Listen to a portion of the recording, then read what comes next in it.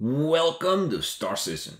So there's plenty of players who like different ships, but there's one ship that many players love, like, and often refer to. Now don't get me wrong, there's plenty of small ships that players fly around with that are popular than this. But if we should take any type of bigger ship than a fighter, or a courier fighter best case, this is one of those that comes up. First of all, the downsides. It does not have the most amount of cargo space. It does not have the most amount of firepower. It is not the most useful ship of its bracket, I would say, and its game loop isn't yet introduced. But it does have a couple of very special features, which isn't just having a chessboard on the ship, but also having tunnels beneath it. May they be for repair, smuggling, or even hidden compartment in the back, which can be used for storing boxes or other small things.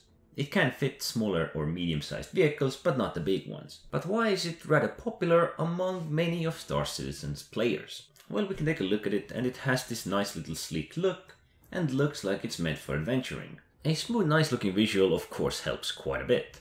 And having these gun turrets for this little beefy boy actually makes it an ideal for having a crew. But what may pull a lot of players towards this ship is the Star Wars having kind of a smuggler vibe with it, like Millennium Falcon.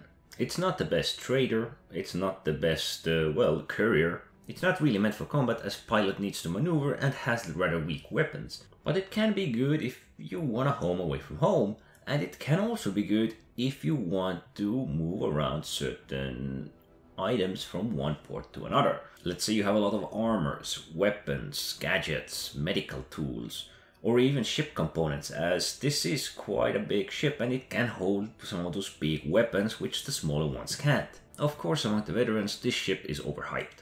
But for the new players or not as committed players, this is a nice looking ship which gives away the smuggler vibe, which gives away the lone adventurer vibe, which often is what pulls in players. It does help that it's got the little under skeleton where you can roam around, although it isn't really useful for the most part.